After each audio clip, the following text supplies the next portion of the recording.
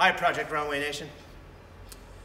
When Moses was in the desert, they had flying. Greta doesn't like this.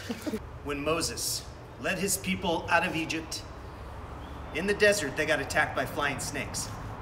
The snakes were biting them in the face, and everyone was dying, and all they had to do was look up at a staff with a snake on it, and they'd be healed. And a lot of people didn't, because they thought, that's too easy. I want to do it the most difficult way possible. Probably know where I'm going with this.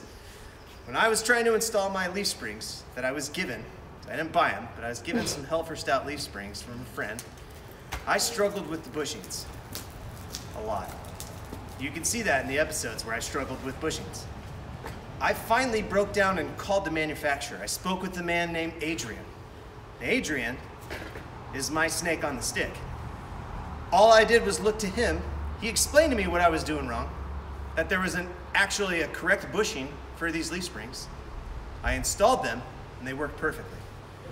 So the lesson I've learned here, and the lesson I'm trying to convey to everyone else, is if you're installing parts from a aftermarket company, call the manufacturer. Look at the snake and be healed. I, I did that. And now my Land Cruiser looks a lot better, rides a solid four inches higher. And Rachel, you know about a solid four inches. Thank you, Adrian. Thank you, Cool Cruisers of Texas. All right.